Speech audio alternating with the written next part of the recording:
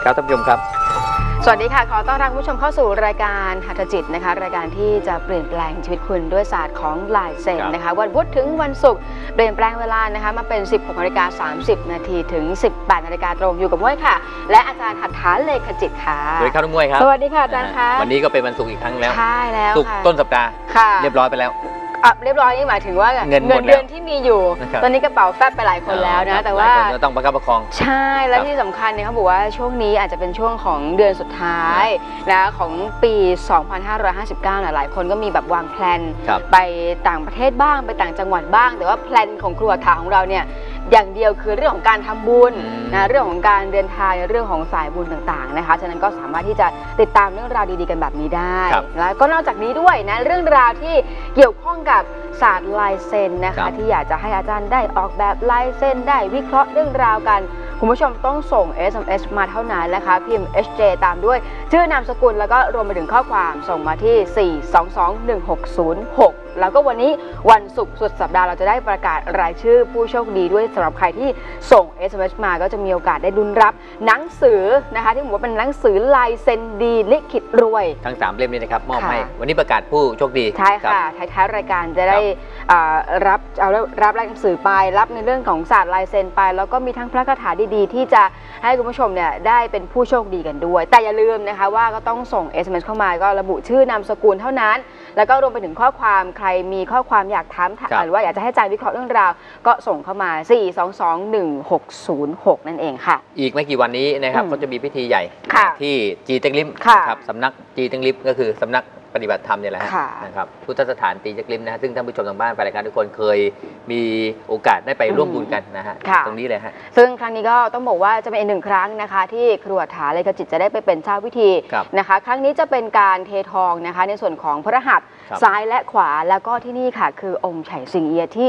องค์ใหญ่ที่สุดในโลกเลยมูลค่านี่สามสี่สิบล้านด้วยกันค่ะ องค์ใหญ่มากนะ อืม ครับนะฉะนั้นใครที่เคยได้มีโอกาสนะได้คือก่อนหน้านี้ก็จะมีการหล่อในส่วนของเสียนหรือว่าพระพักตร์อ่าในส่วนของเป็นส่วนๆองค์แล้วเอามาต่เป็อนกันส่วนๆครับส่วนครั้งเนี้ยก็จะเป็นพระหัตถ์ซ้ายและขวาก็โดยเนี่ยครูหัตถาของเราใช่ครับนะคะก็จะได้มีโอกาสได้ไปร่วมบุญร่วมกัน แล้วก็เทพเจ้าไฉสิงเอียก็เทพเจ้าแห่งโชคลาภช่วงของปลายปีแบบนี้นะเดือนสุดท้ายแบบนี้ก็ไปร่วมบุญร่วมกันได้นะคะวันอาทิตย์นี้นะคะ 11 ธันวาคม เวลา9นาฬิกาเป็นต้นไปนะคะณพุทธสถานจีเต็กลิมนครนายกนั่นเองไปเจอไปเจอกันไปขออมพรบางท่านก็เอากระเป๋าสตังค์มาค่ะลงอักขระเตโจธาตุเพราะว่าอ่าเวลาบวงสรวงเนี่ยก็จะมีการหนุนในธาตุทั้งสี่ค่ะนะดินน้ำลมไฟให้ประกอบเป็นอาการทั้ง32 ทุกปีก็จะเจอเจอนะฮะส่วนใหญ่ จนฝ่านะฮะองค์ที่จะสำเร็จอืม แล้วก็จะประดิษฐ์ที่นั่นค่ะ นะฮะองค์ใหญ่มาก ค่ะองค์ใหญ่เป็นธรรมดาโอ้สูง สูงสูงคือเท่าตึก3ชั้นน่ะ โอ้โหครัคืบอที่เรียกว่าขับไปเนี่ยมองไกลๆก็เห็นไม่เห็นเอ้าเพราะตอนนี้ไม่เสร็จเอาด้วยก็ถ้าเกิดว่าไม่เสร็จก่อนแล้วเสร็จอ่าแล้วก็จะเป็นองค์ใหญ่เสร็จขึ้นแล้วมาก็จะเห็นครับก็จะเห็นอย่างเด่นชัดเลยนะ แต่ว่าครั้งเนี้ยนะคะ เราไป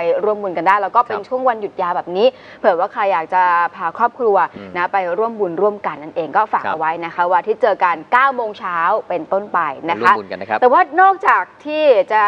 ได้มีโอกาสได้ร่วมบุญที่กำลังจะเกิดขึ้นวันอาทิตย์นี้ก่อนหน้าที่ผ่านมานะงานใหญ่ที่เราทุกคนได้มีโอกาสร่วมใจกันเขาบอกว่ารวมหัวใจคนไทยทั้งประเทศครับนะคะที่ณบริเวณเหนือเขื่อนลำตะคองนะคะเดี๋ยววันนี้จะให้คุณผู้ชมได้ชมภาพบรรยากาศด้วย ต้องบอกว่าวันนั้นเองเนี่ยทางครัวถาครับแล้วก็ทางทีมงานของ Miracle Channel นะคะก็เดินทางไปตั้งแต่วันศุกร์เลยนะคะ เพื่อที่จะไป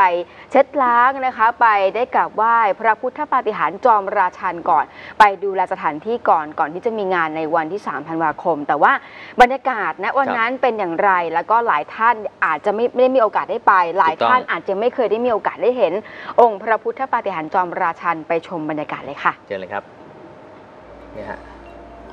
นี่บรรยากาศในช่วงน่าจะเป็นช่วงบ่ายๆแล้วล่ะค่ะครับอันนี้เขาบอกว่าครูลงพื้นที่ไปก่อนครับนะคะ ไปดูแลทั้งสถานที่ด้วยนะคะ แล้วก็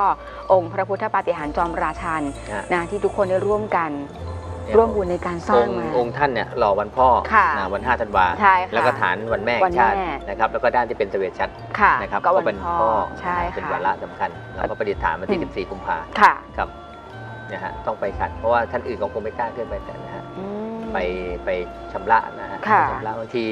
มันมีผงบ้างหรือว่าบางทีดอกไม้ที่ท่านผู้ชม คือเราไม่ให้อนุญาตให้ปิดทองก็อ๋อนะจะมีมูลนกนะฮะนะฮะมามาถ่ายบ้างนะครับค่ะแล้วแต่แล้วก็สภาวะอ่า วัตถุเนี่ยเวลาอืมไปถูกอ่าอากาศก็จะมีการเปลี่ยนแปลงบ้างนะก็เช็ดไปถูไปทำความสะอาดพระองค์ท่านก็นางงามเห็นไหมถ้าเอาทองคำมาปิดไปได้ทองค่ะคำเปลวไม่ควรจะไปปิดค่ะนะแล้วก็ขอพรอย่างเดียวนะฮะดอกไม้ก็วางไว้ข้างล่างค่ะก็ต้องไปเช็ดไปถูกัน พอติดปุ๊บเนี่ยก็จะเป็นรอยอืมนะเป็นรอยคราบน้ำมันนะค่ะรับองค์สูงมากนะคะสูงนะแล้วก็คุณผู้ชมคือถ้าขับไปเนี่ยคือจริงๆแล้วถ้าเกิดว่ามองไปถนนเส้นตรงนั้นน่ะก็จะเห็นครับ เห็นอยู่พอสมควรเลยแหละเพราะว่าใช่องค์ค่อนข้างสูงมากครับ งั้นตอนนี้คือใครที่อาจจะเป็นช่วงวันหยุดแบบนี้ก็ไปกราบไหว้ได้ไปขอพรได้ เป็นพระปฏิหารย์จริงใช่ๆ บางค่ะ คนบางบางคนนี่เขาบอกคลอดลูกมา อืม ลูกเนี่ยดูแล้วเนี่ยหมอว่าไม่รอดค่ะ นะก็อธิษฐานจิตค่ะ มีโอกาสได้มาทำบุญสร้างกุศลกับพระผู้บริหารจอมราชัน หรือมาอืมขอพรหรือมา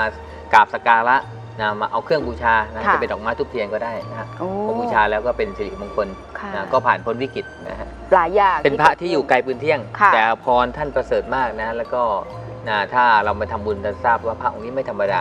นะมูลค่าประมาณ13 ล้านด้วยกันใช่ตั้งค่ะแต่สร้างตั้งแต่ทำมาเป็นพระของพวกเรานะฮะนะในการครั้งเนี้ยนะครับนี่กลางคืนเนี่ยก็จะมีการลงอักขระเออท่านผู้ชมเนี่ยที่อยากได้อักขระตรงเนี้ยเห็นในเฟซเอบุ๊อกในเฟซส่งจดหมายค่ะซองเปล่าสีตำเอ่อติดติดสแตมป์มาด้วยหน้าซองถึงตัวถึงเองตัวเอง มาที่มีแล้วผมไปส่งให้อ๋อเพราะเป็นหัวใจพระพุทธฐานจอมอาจารย์นะค่ะนะครับ ตัดให้เป็น คือทุกท่านเนี่ยผมก็จะเขียนว่าคาถาพุทธปฏิมหาราชายะเนี่ยค่ะ แล้วก็จะสดส่งให้ผู้ชมทางบ้านแฟนรายการทุกคนที่ขอมานะครับ อืมเอาท่านั้นอืค่ะมว่าใครอยากจะมีโอกาสได้รับรีบ ส่งจดหมายแนบซองเปล่าจากสแตมป์จ่าหน้าถึงถึงตัวอ่าถึงมีและเขาชแนลใช่ด้วยนะครัคะ บแล้วก็ระบุว่าขอรับนะหัวใจของพระพุทธปาฏิหาริย์เป็นพระจอมคาราชันถานั่นเองครับให้ทุกคนนะฮะ ทุกคนที่เลวัยนนั้นะนคะนะอ่าที่วันนั้นก็กดแชร์กดไลค์แล้วกัขอน พรจากองค์ท่านมาค่ะ ครับ อันนี้ก็เป็นในช่วงของค่ำค่ำๆนะฮะๆนะคือครูแล้วก็ทีมงานเนี่ยดูแลครับพื้นที่แล้วก็เตรียมในคืออ่าพื้นที่เนี่ยตั้งแต่ช่วงบ่ายจนถึงช่วงค่ำเลยทีเดียว เพื่อที่จะเข้าสู่งานพิธีนะคะ สมโพธิทำบุญพระสงฆ์89 รูป ในวันที่3ธันวาคมนั่นเอง อืมนะฮะ งามวิจิตรมากครับเนี่ยแหละค่ะเห็นอักขระตรงนี้แบบนี้อยากจะมีโอกาสได้รับไปนะคะ แล้วก็ได้กดไลค์กดแชร์กันใน Facebook วันนั้นนะคะ ก็ส่งจดหมายแนบซองเปล่าจะแสดงจ่าหน้าซองถึงใช่ครับตัวเองนะกลับมาที่ Miracle Channel ด้วยนะคะเขาบอกว่าทุกๆงานค่ะ ทุกๆ ครั้ง ครูจะต้องดูแลพื้นที่เตรียมตัวให้ก่อนทุก ๆ ครั้งเรื่องพิธีเลย กรรมเรื่องรายละเอียดต่างๆนะฮะแล้วก็อยากให้สมบูรณ์ที่สุดและก็ค่ะ ดีที่สุดด้วยครับ อืมนะฮะนะแต่ว่าหลายคนอยากจะได้เห็นภาพบรรยากาศนะวันที่3ธันวาคมนั้นเป็นครับอย่างไรนะในช่วงของพิธีตั้งแต่เช้ามีการอืม ทำบุญนะคะ แล้วก็วันนั้นหลายคนก็ได้มีโอกาสนะคะ ได้ชมนิทรรศการที่หายากมากครับๆนะคะ ที่ในหลวงรัชกาลที่ 9 ท่านได้เสด็จไปที่เขื่อนลำตะคอง ประมาณ 20กว่าปีที่ผ่านมาท่านผู้ชมครับ โอ้โหเนี่ยแหละเดี๋ยวช่วงหน้าจะได้ชมภาพบรรยากาศกันว่าบรรยากาศที่ณวันนั้นครับ3ธันวาคมนะเป็นยังไงกันบ้าง แล้วก็หลายคนที่อาจจะไม่ได้มีโอกาสไปหรือว่าติดภารกิจ เดี๋ยวช่วงหน้าได้เจอเจออย่างแน่นอนนะครัคะบแต่ว่าตอนนี้คุณผู้ชมเราต้องบอกว่าใครอยากจะมีโอกาสรับหนังสือครับนะคะ ก็ส่ง SMS เข้ามารับและลุ้นกันได้ 3 ท่านเท่านั้นนะคะสำหรับหนังสือลายเซ็นดีลิขิตรวย ซึ่งไม่มีวางจำหน่ายแล้วได้เพราะเขาค่ะไม่ให้วางมามาอันนี้เอาเก็บให้เอาวางอยู่ไว้ให้วางอยู่เป็นต้นตำราไม่มีเพราะว่าจริงๆแล้วผมมาแจกว่ามักจะขายนะฮะใช่ทำไว้เยอะๆห้าพันเล่มหมื่นเล่มนะฮะแต่สุดท้ายแล้วก็เนี่ยถ้าเล่มเนี้ยก็เป็นโครงการหนึ่งที่เดี๋ยวก็หน้าปกอะไรเมื่อกี้นี้ใส่แว่นใช่ไหมใช่ใช่ค่ะอ่าถ้าใส่แว่นนี่ก็คือสร้างโบสถ์อ่านะไปสร้างโบสถ์แล้วก็บางโบสถ์บางอะไรเวลาไปทำพิธีบวงสรวงก็เอาหนังสือส่วนเนี้ยเอามอบให้วัดใช่นะครับค่ะ หรือบางคนที่แบบอ่าเริ่มต้นวสร้างโบสถ์ร่วมวัดบ้านดงค่ะสมัยก่อนนู้นเลยอืมนะฮะหลายปีแล้ว ซึ่งตอนนี้ก็สำเร็จเสร็จเป็นสองสิ้นเล่มแล้วเลยนะนะ ฮะอันนี้เล่มที่สองค่ะ อ่าเล่มแรกเล่มแรกมอบให้ค่ะท่านผู้ชมนะครับ อันนั้นใครที่อยากจะมีโอกาสได้รับรีบส่ง SMS ใช่ครับ เข้ามาลุ้นกันเดี๋ยวท้ายรายการ จะได้ประกาศรายชื่อผู้โชคดีกันด้วย ตอนนี้เรามาที่ SMS ท่านแรกกันเลยดีกว่าค่ะ มาท่านนี้เลยครับ คุณคุณบวรนันท์ถามว่าลูกน้องบริวารเป็นยังไงบ้างคะ เป็นอย่างนั้นแหละฮะนะฮะ คือบางทีเนี่ยเราคิดว่าเราอยู่เขาเหมือนพี่เหมือนน้องเหมือนเพื่อนแต่สุดท้ายเนี่ยเขาจะมีธาตุกำเริบ รู้จักธาตุกำเริบไหมอืม พูดถึงธาตุนี่นะครับเนี่ยผิดธาตุเคยเป็นไหมครับทานข้าวทานอาหารแล้วผิดธาตุอ๋อเหมือนกันนะฮะค่ะผมเองก็ยังธาตุไม่ค่อยดีเท่าไหร่วันนี้นะฮะอ่าแต่ว่าของคุณวันวรนักคุณอบววรรนันันนท์ท์เขามีอาการธาตุไม่ดีกับลูกน้อง ม คือพูดง่ายว่าถ้าจะให้เขาร่วมงานทำงานน่ะคุณต้องมีเพราะว่าผู้ใหญ่แพ็กทีมดูแล แต่ถ้าปล่อยเดียวๆนะฮะนะฮะเจ็บตัวและเหนื่อยใจอืมในย่านนี้ก็ต้องระวังเป็นพิเศษนะฮะค่ะ คำพูดการเจรจา และความคิดกับคนรอบข้างโอ้ คำเตือนอค่ะยู่ใกล้ๆมีความเสี่ยงครับนะต้องระวังนะครับ ค่ะ อะคุณบวรนันท์นะ SMS ต่อมาค่ะ มาที่คุณ SMS ต่อมานะคุณตะวันค่ะ ความรักการเงินโชคลาภทำงานอะไรถึงจะประสบความสำเร็จ อ่าแล้วก็บูชาพระอะไรดี อ่าถ้าบอกว่าทำงานอะไรสำเร็จเนี่ยนะฮะยกเว้นอ่าการค้าอย่างเดียวนะฮะที่จะดีกับคุณนะฮะแต่ถ้างานอื่นก็ได้ครับประคับประคองการค้าด้านไหนนะด้านการเม้นด้านเสื้อผ้าอาภรณ์อ๋อ หรือว่านำเข้าส่งออกนะฮะโดยเฉพาะเสื้อผ้าอาภรณ์จะดีนะครับ จะบูชาอะไรดีนะครับ บูชาพระศิวลีเสริมโชคลาภๆเลย เพราะการเงินช่วงเนี้ยนะฮะแฟบกระเป๋าไปนิดหนึ่งระยะประมาณเดือน 2 เดือนนี้นะฮะแต่ว่าพอมกราแล้วก็คล่องตัวเหมือนเดิมนะครับคุณตะวันนะครับ SMS ต่อมาค่ะ SMS ต่อมานะคุณธัญรัตน์บอกว่าเลขบัตร219 ค่ะ สุขภาพเป็นอย่างไรปลายปี เดินทางไกลได้ไหม216เอ่อขอไป219 เนี่ย เรื่องของอาเดินทางก่อนเรื่องการเดินทางไกลมีอยู่แล้วนะฮะเดินทางแล้วเดินทางรู้สึกว่าไม่ได้ไปครั้งเดียวอืมมีโอกาสได้ไปซ้ำซ้อนนะคือเกิด คือเดินทางไปแล้วปุ๊บเนี่ยเขาจะมีโอกาสเดินทางไกลอีกครั้งหนึ่งนะครับในระยะเวลาใกล้รอบปีหน้าเนี่ยแหละครับ ส่วนสุขภาพปรมัยระวังอย่างยิ่งเลย โดยเฉพาะบุคคลท่านใดที่อะขอท่านนี้กันครับบุคคลท่านเนี้ยนะฮะมีโอกาสที่จะป่วยเจ็บตามข้อแล้วก็ปวดร้าวอืมเหมือนกับเป็นโรคอะไรนะปวดตามข้ออะค่ะปวดแบบไร้สาเหตุเนี่ยอ่าพวกเนี้ยก็จะมีอาการนะฮะท่านธัญรัตน์ต้องระวังเรื่องของอะอาหารการกินอืมนะโปรตีนต่ำไปก็ไม่ได้ค่ะนะฮะเค็มจัดหวานจัดก็ก็ไม่ได้เอามีต้องควบคุมเหมือนกันอาหารนะครับอืมแล้วก็จะ มีผลในช่วงประมาณเดือนอ่าเมษาพฤษภาช่วงนั้นนะครับ สุขภาพประมัยระวังเป็นพิเศษนะครับจ้ะนะคุณผู้ชมที่ส่ง SMS เข้ามาถ้าเกิดอยากจะได้รับลายเซ็นครับก็บอกกล่าวกับครูถาเข้ามาได้นะคะ SMS ต่อมาค่ะ มาที่คุณคุณกุอ่าคุณกิตติยากรนะบอกว่าเบอร์โทรศัพท์มี 2 หมายเลขเลย 6525 และ 1515 สิ่งศักดิ์สิทธิ์ค่ะเลขมงคล แล้วก็ขอลายเซ็นเสริมการกิงานตติกายารกเงิรนนะฮะอยากให้คุณนะฮะบูชาเทพเจ้าไฉเอียะหรือท้าวเวสสุวรรณก็ได้นะก็คือภาพพระนามเดียวกัน ก็คือท้าวเวสสุวรรณก็ถือกระบองนะฮะอ่าแล้วก็ถือใช่ไหมฮะค่ะนะแต่ท้าวเวสสุวรรณอ่าหรือว่าเทพเจ้าไฉเอียะก็ได้ ก็จะทำพิธีในวันอ่าวันอาทิตย์นี้แล้วนี้แล้วค่ะนะครับไป เจอเจอนะไปที่นั่นนะไม่ไปก็เอาลายเซ็นไปก่อนแล้วกันอืมนะครับนะคุณกิตติยากิตติยากกรรนะคะ ลายเซ็นนะครับ ทุกท่านส่งเอสเข้ามาก็ระบุชื่อนามสกุลแบบนี้ ใครอยากจะให้อาจารย์ได้วิเคราะห์ครับเรื่องราวนะเกี่ยวข้องกับเรื่องของชีวิตก็บอกนี่คำฮะถามเข้ามา หรือว่าเรื่องราวของตัวเลขเลขมงคลนะเสริมในเรื่องของเบอร์โทรศัพท์ ครับ เลขบ้านหรือว่าทะเบียนรถก็ได้นะคะเอสต่อมาค่ะ อ่าต่อที่คุณ เอสต่อมานะคะ คุณกมลมาลีค่ะ เลขบัตร195 ส่วนเบอร์โทรศัพท์ 5565 อยากถามเรื่องของความรักกับการเงินค่ะ ปีหน้าจะออกรถได้ไหมคะเดี๋ยวไอ้เรื่องออกรถเนี่ยเอาลัคกี้นัมเบอร์ไปเลยนะครับ อ่ามันหมายปลายใจไว้ก่อน ใช่ไหม ใช่ค่ะนี่แสดงว่าปีหน้ามีโอกาสลุ้นหนึ่แน่งหนึ่นงอนเจ็ดนะครับหนึ่งหนึ่งเจ็ดนะฮะแปดหนึ่งหนึ่งเจ็ดนะครับเลขที่ออกนะครับบอกให้รู้ว่าได้ออกรถแน่ให้คุณกมลแปมาดหลีนึ่งหนึ่งเจ็ดนะฮะดีที่สุดนะครับแล้วก็เลขข้างเคียงก็ไม่เอาหรอกฮะเอาเลขนี้ไปเด็ดๆเลย ค่ะ ความความรักกับอ๋การอเพราะเลขทะเบียนรเป็นถรถไม่ใช่เด็ดๆบางคนรีบบางคนไปจจดดใหใหญ่ญ่เลยนะฮะ ยิ่งไม่กี่วันนี้จะออกอีกแล้วนะครับ ออกรถใหม่กันเยเอาอะรถใหม่ในช่วงต้นๆปีเรากลับบ้านนะครับป้ายแดงค่ะครับอ่ามีโอป้ายกาแดสงขับเร็วลุ้นไม่ได้นะฮะจ้าเพราะว่ากล้องมันยิงไม่เจอ ช่วงเอาเราจะเอาความรักกับบางการคนนี่เงิะอัดไปร้อยสี่ร้อยห้าอันตรายเหมือนกันนะฮะใช่ค่ะ ถึงแม้เขา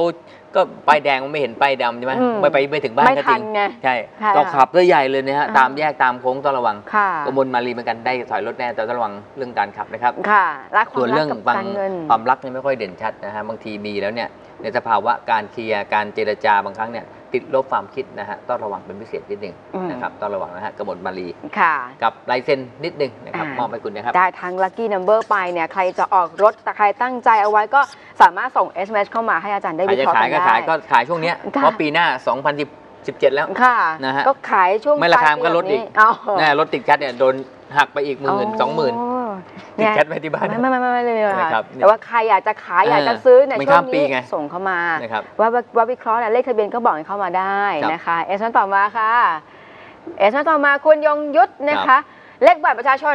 224 ถามว่าแฟนเก่าจะกลับมาหรือเปล่า ยงยุทธต้องคิดถึงจิตใจเรา ว่าอยากให้กลับหรือเปล่านะฮะถ้าอยากให้กลับก็จะกลับมา ถ้าไม่อยากให้กลับก็จะไม่มาค่ะ ตามใจคุณแล้วกัน จ้ะ แต่ดูแนวโน้มกลับมาครับนะฮะอืม ร้านค้าที่เปิดอยู่จะจะไปไปรุ่งเรืองไหมรุ่งไหม ในการขยับปรับเปลี่ยนในการขยับเลื่อนเรื่องของการงานนะเฉพาะทิศทางเรื่องการงานการค้าไปได้ดีไปได้สวย ยกเว้นยงยุทธจะท้อนะฮะแล้วคุณชอบเอาเรื่องครอบครัวเรื่องคนรักน่ะมารวมๆกันบางทีก็เครียดเล็ก ๆ แต่ตัวเองไม่ค่อยแสดงออกแค่นั้นแหละอืมก็ขังมันนะฮะความรักเหมือนขนมหวานค่ะ อาจจะทานแล้วก็ลืม ค่ะนะฮะ กรุบกรอบบ้างนิดหเหน่อยมือนไอติมอะานะฮะก็ทานแล้วก็ละลายไปค่ะ นะอย่าไปเครียดจะไปคิดเยอะ อืม สุดท้ายแล้วก็เป็นตัวของตัวเรานะฮะยงยุทธเป็นตัวของเองเยอะมากเกินไปนะครับ ค่ะเอาล่ะเดี๋ยวช่วงหน้าครับ ค่ะยังสามารถส่ง SMS เข้ามาให้อาจารย์ได้วิเคราะห์เรื่องราว รวมไปถึงออกแบบลายเซ็นกันได้นะคะ แล้วก็สำหรับใครที่รอคอยอยากจะเห็นภาพบรรยากาศนะคะพิธีสมโพธิพระพุทธปาฏิหาริย์จอมราชาครับแล้วก็ร่วมกันนะคะบอกว่ารวมหัวใจคนไทยค่ะ จุดเทียนถวายความอาลัย รวมไปถึงร้องเพลงสรรเสริญพระบารมีด้วยใช่นะครัคะบเดี๋ยวช่วงหน้าจะได้กลับมาชมภาพบรรยากาศเต็มๆกัน แต่ว่าตอนนี้พักกันสักครู่ค่ะ ครับผม